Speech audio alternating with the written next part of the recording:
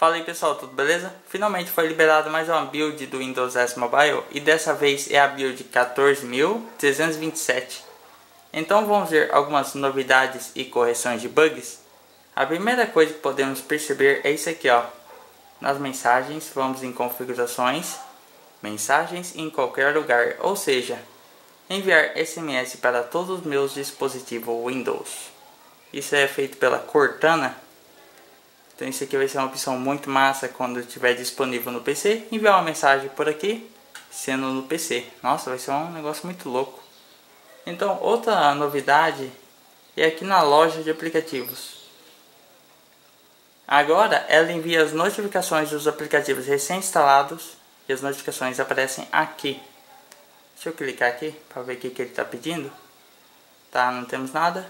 Então vocês podem perceber que continua em inglês e temos essa nova opção aqui, ó, Windows Insider, dentro das próprias opções. Então vamos fechar aqui e vamos ver aqui na loja. Tá, não vai aparecer ali porque não tem nenhum aplicativo recém-instalado. Então vamos esperar carregar, que ele demora um pouco.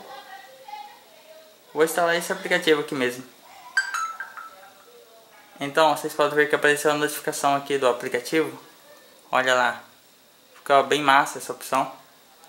E outra coisa que também que eu percebi é que o aplicativo do Messenger agora ele está abrindo normalmente.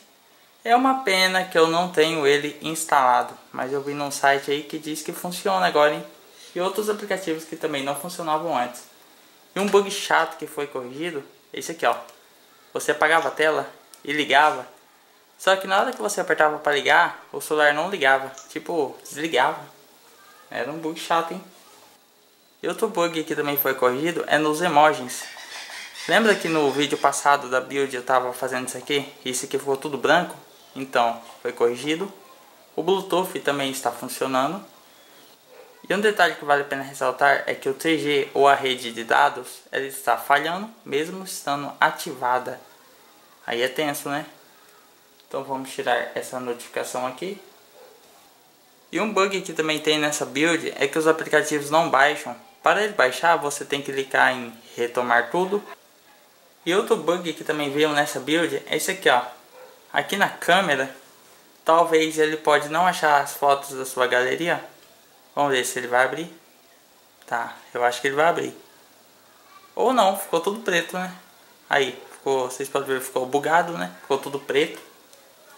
Então vamos ver outro bug aqui também Tá desde a build passada. Olha lá, o Facebook Beta acabou de ser instalado. Então, continuando o bug aqui, ó.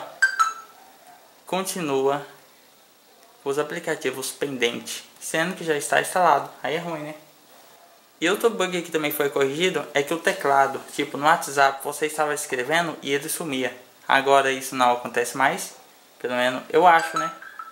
Vou conferir a câmera aqui porque ela andava fechando no meu aparelho. Eu nunca tenho sorte. Então basicamente é isso. A Cortana ganhou novos idiomas. Mas parece que basicamente é isso nessa build. Então vale a pena instalar? Isso depende né.